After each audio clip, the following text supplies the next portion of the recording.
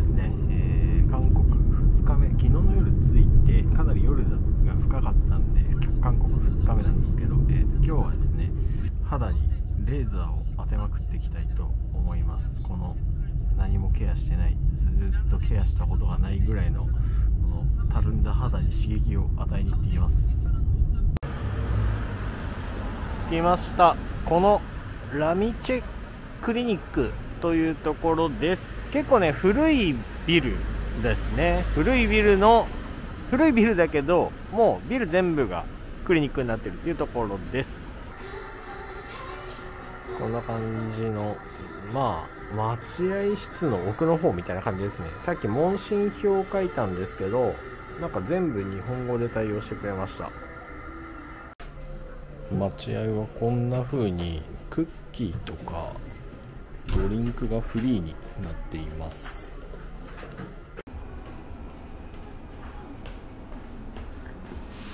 あ、네네네5번방네알겠습니다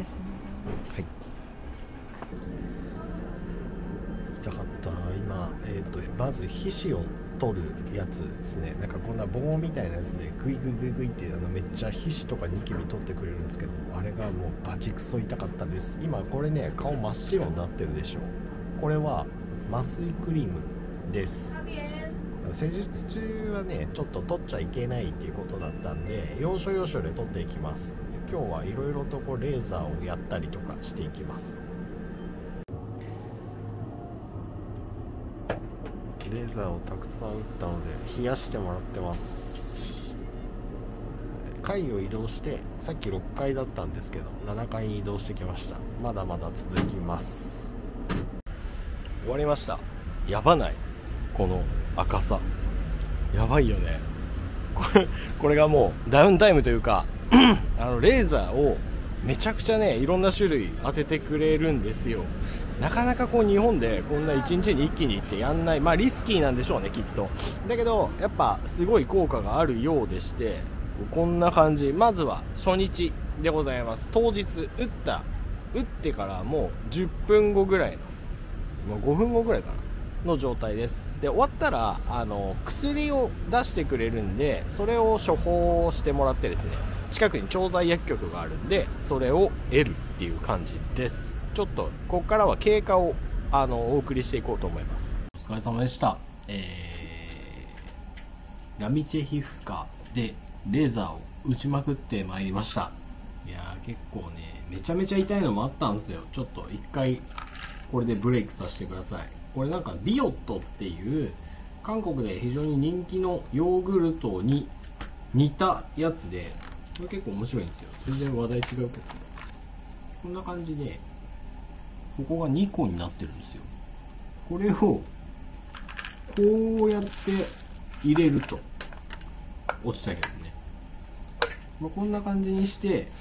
混ぜて食べるっていうのが非常に人気のようなのでちょっとねこれ食事しながらやらせてください。すいません。うん。あこれうまい。うまいっす。でね今日僕がやってもらったのは結局あのやってくれてる時の映像は撮っちゃダメって言われてたんですよ。言われてたっていうか言われたんですよ。当日突然言われました。LINE でえっと、撮影していいですかっていうことをお聞きしてていいですよってことで、えっと、受けに行ったんですけどちょっとなんか手違いというか認識のズレというかね結局やってる時はダメですっていうことでカウンセリングも取っちゃダメですってことだったんですね。でまあ非常に残念だったんですけど、まあ、取れる限り取ったっていう感じでございます。院長先生が、えっとすごくね丁寧にカウンセリングしてくれて、僕こういうレーザー、まあレーザーね、がっちり病院みたいなところで受けるのは初めてだったんで、あの、非常に緊張の面持ちだったんですが、すごく腕のある院長先生が丁寧にカウンセリングしてくれて、えっ、ー、と、すごく安心してできました。でね、このラメージ皮膚科っていうところは、あの、レーザーのデパートとか言われているところでして、レーザーの種類だけでこんなあるんですよ。こんな感じでめっちゃ種類があるわけなんですよね。でその中から推しのやつっていうのをチョイスしてやっていくんですけどえっとね僕にめちゃめちゃ向いてるよって言われて提示されたものはだいたい40万から50万ぐらい。日本円で。1回ね。するやつだったんですけど、ま、僕の側の予算も伝えてる、まあ、一応こんぐらいで考えてるんですよねってことを伝えてその上でやっていただいたのがこの5つのレーザーですね。アフォーム2マルチプレックスっていうものクレーターとか目の周辺の小じわ改善眉まぶたのたるみ目の下のたるみ二重顎深いほうれい線首のシワに効果がありますと。フラクセルデュアルニキビ跡手術跡毛穴など小じわの改善。はい。ニューアコードシミの改善岡本のアップエクセル V シミくすみなどの色素ニキビ肝斑などっていう感じですね。まあ主にシミとあのこれからできるシミとあとはそのシワの改善とこうガッとこうリフトアップみたいなところ、まあ、アンチエイジング的な観点でやってもらいました。やっぱ肌が綺麗な方が、まあ、清潔感あっていいかなと。あとはまあちょっと自分で自分が嫌いにならないようになりたいなと思って。あとで最後にですね4つメインで当ててもらって1個部分的に当ててもらうのがレプライトレブライト。レブライトか。はい。っていうやつで、えっ、と、まあ、これも、肝斑とかそばかすニキビの色素沈着とかの問題を解決するものです。で、えっと、今回ね、ちょっと撮っていいですか？やっぱダメです的な、なんかこう、ちょっと相違があったお詫びみたいな形なのか、サービスしていただいたセールスがございます。それっていうのが、インモード。インモードっていうですね、なんかこう、やられてる時は、バシッバンってなんかこう、なんていうんですかね、こう、肉ブッてつままれて、ギュッてやられて、熱くなるみたいな感じのものがあるんですけど、それをサービスさせてもらっ、させてもらった、させ、していただいたのと、あとは死亡妖怪注射。怖いですね。あの、響きが。響きだけで聞くと怖いんですけど、全然そんなことなくて、まあ、ここ、顎ラインをちょっと引き締めるために、ここにチュッチュッってこう注射を打ってもらったのと、スキンボトックスですね。えっと、シワをナチュラルに消すみたいな感じのスキンボトックスっていうのをサービスで打っていただきました。あの、ありがとうございます。本当に。この場を借りてお礼を言いたいと思います。あの、レーザーの術後注意事項とかね、こういうのが、えサウナ1週間控えろよとかね、水泳ゴルフ日焼けは10日控えろよとかね、で、まあ、なんか日焼け止め絶対塗れよとか、まあ、いろいろ言ってくれてるんですけれど、まあ、何よりですね、あの、今日やってきたので、まず、初日、さっきもお見せしてたんですけど、さっきお見せしてたのが、術後10分後ぐらいの状態なんですよね。今が、えー、まあ、だいたい10時間後ぐらいとかですかね。初日の10時間後で、ちょっとメガネしてるとわかんないこんな感じなんですよ。もうヘアバンドでこう、わかりやすくするとですね、顔面、映ってるよね。ちょっと今、メガネ外すと僕本当に目が悪いので、えー、一瞬画面が見えてないんですが、見えますでしょうか？かなりね、ポツポツポツポツって浮き上がってきてるでしょう。ニキビというか、あの、シミが浮いてる状態なんですよ。これがあの、レーザーで焼いてもらったものが浮き出てきている。今あるものと将来的にできるかもしれないところとか、乾板とかが全部浮いてきてる状態なんですね。で、これが、まあ、色素が今ね、濃くなっているのが、どんどんどんどんこう上に上がって、こう、ポロッと落ちていくっていうようなものでございます。脂肪溶解注射は、ここなんで、いまいちよくわかんないんですけど、まあ、打ち立てってあんま効果出ないらしいんで、ここからまあ3日4日、1週間10日ってやっていくと、まあちょっとずつ効果が出てくるというもののようです。で、えっと、今回ね、かかった、かかった費用としては、12万ウォンくらい。12万7千ウォンぐらい。ちょっと忘れちゃう。ん？違う。えっと、127万ウォンくらいだったんですよ。日本円に直すと、韓国とウォンってまあ若干のレートの差はあるものの、0 1個取れば大体合ってるんで、12万円分ぐらい。うん。12万か13万ぐらい。っていう感じの、えー、施術をやっていただきました。本来は、えっ、ー、と、レーザー5つっていうやつなんですよ。で、このレーザー5つっていうのはかなり珍しいようでして、大体ね、国内、日本国内だと1個しかやってくんない。別にそれが安全を考慮してやってくれてるんだと思うんですけど、あの、韓国結構ね、ここのラミチエさんはすごいいろいろ撃ってくれるっていう、そのレーザーめっちゃ強いっていうところなんですね。それでめっちゃいろいろ撃ってもらったんですよ。で、あのね、痛さ的には、どれだったのかな？なんかね、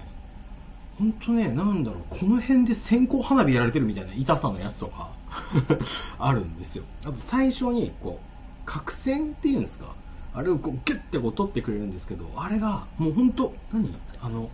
この辺ギュッてつまんだみたいな痛さがあったりっていうね、あの、先生が直でこうやってくれて、多分あれ、シミそばかす、シミのやつだな。うん、多分、レブライとか、ニューアコーとかそんな感じなんじゃないかな。こバチバチバチバチってやつは結構痛かったっすね。まあ耐えられないぐらいではないんですけど、結構痛かったです。で、費用的にこれね、韓国の中では高い方みたいです。日本で、そのね、日本でいくらなのかっていうのもいまいち僕分かってなかったんですよ。で、ざっくりね、すげえ雑に検索して、それぞれのこういう機械が載ってるでしょ。機械を検索して、料金とか値段とかで調べたざっくり概算だと日本でやると少なくとも倍以上するみたいです。もちろんクリニックによって高いやつあると思うんですけど、日本でやると、まあ、平均で多分倍ぐらい。なん、みたいなんですよ。で、僕の場合ちょっとね、なんかごめんね、みたいなおまけいただいてるんで、あの、さらに、あの、まあ、お得というか、はい、まあ、そういう状態にはなってるんですけれども、まあ、こんな感じでございます。なんかね、皆さんぜひやってくださいっていうようなものではないんですけど、なんか僕もこの年になって何にお金をかけていこうかなってなった時に、やっぱ、あの、ね、年齢感じるのって何だろうと思ったら、髪、歯、肌、この3つだなっていうのをやっぱね、ひしひしと感じてきていますんで、まあ、あとはね、単純に太ったんで体でも鍛えていこうかなと思ってる所存でございます。以上、えー、韓国ラミチェクリニック行ってみたよというレビューでございました。レーザーは痛いやつはすげえ痛い。あの、クリーム麻酔はね、やってくれるんですよ。やってくれるけど、それでも痛いっていうのもあったんで、ただね、スキンボトックスとかマジ一瞬なんですよ。パッパッパッパッパッパッパッ終了ぐらいの。ほんと10秒ぐらいとかだったと思います。はい。先生さすがでございます。そんな感じで、えー、レビューでございました。こっから、えっ、ー、と、10日後、えっと、1週、3日後、1週間後、みたいな感じで、ちょっと経過を乗っけていきたいと思いますんで、よろしくお願いします。丸3日目です。ちょっとずつ、この、ポロポロっとね、この、シミの部分が取れてきました。最初より赤みはなくなって、ぼちぼち、まあ、元の状態、まだね、こことかあるけど、日常過ごしてると取れてくるって感じです。ラミチェ皮膚科で皮膚管理をしてから1週間後です。赤みはもうだいぶ減ってですね、もう私生活に支障がないぐらいの感じにはありました。もうないよね。なんか僕が見える限りないです。かなりいい感じになってきたかも。毛穴がちっちゃくなった気がします。もうちょっとね、経過観察をしてみたいと思います。2週間後の状態です。iPhone のインカメ、iPhone12 mini のインカメの、えっ、と、加工なしバージョン、ノンフィルターです。どうですかね？赤みはもちろん引いていて、だいぶ脂肪溶解注射が効いてきた気がします。ここがね、顎が若干スッキリした。僕もっと二重顎だったんですけど、まあ、こうやるとまだね、あるけど、ちょっとここがスッキリした感じがします。こうやって見ると、まあ、シミとかはまだ完璧じゃないんで、もう一回行かないとダメなのかな。こっちとかね。若干あるか。はい。で、あの、黒い色素に反応するレーザーみたいなガーッと全部当ててもらったんですけど、やっぱね、ほくろが若干薄くなってってるかなぐらいに思います。はい。だけど、肌がワントーンぐらい上がった感じがするのと、なんかバーっとこうあった乾パンみたいなシミは割と取れて良くなったんじゃないかな。なんかもう、今の感じに見慣れちゃって前のがあんまりよく覚えてないんですけど、前やる前こんな感じ。まあ、これちょっとモニターがちょっとわかりにくいんですけど、まあ、とりあえず2週間後の状態です。総評としてはですね、ラミチェヒフカさん、あのーまあ、高めだと思うんですよ。韓国で、えっと、結構安いとこいっぱいあるから高めだと思うんですけど、肌の管理で言えばですね、僕が他のところ行ったことがないので、なんというか比較にはなできないんですけど、一気にあの数のレーザー打ってくれて、1日で済んで、かなり効果が自分的には出たなっていうふうに実感がありますんで、実感できてあの金額って考えたら僕としては全然納得しているっていう感じです。カウンセリングも非常に丁寧で、日本人の方が多分常駐してるのかなと思うんで、あの僕らみたいに、あ僕みたいにあの韓国語が話せない人でもですね、安心していくことができたのと、あと LINE で予約ができるんで、で、日本語でやり取りができるんで、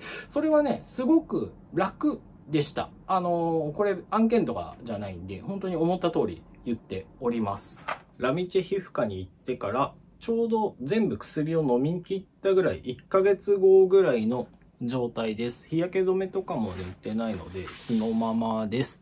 なんか、やる前に比べてやっぱり肌がワントーン上がった感じがするのと、心なしかやっぱここ、僕もう元々顔丸顔っていうのもあるんですけど、ここね、すげえもちもちだったのが、なんか脂肪溶解注射のおかげ？で若干マシになった気がする。うん、気がするっていう感じです。多分徐々に変わってったんだと思うんですけど、だけどね、あの、総評としては、なんか前にも言った気がするんですけど、やってよかったです。はい。なので、あの、今回ね、1ヶ月の、えー経過を見ていただきましたので、また何かやったら、えーレビューをしていきたいと思います。ご視聴いただきありがとうございました。高評価とチャンネル登録ぜひよろしくお願いします。えっ、と、Twitter や Instagram もやってるんで、そちらもぜひよろしくお願いします。どうもありがとうございました。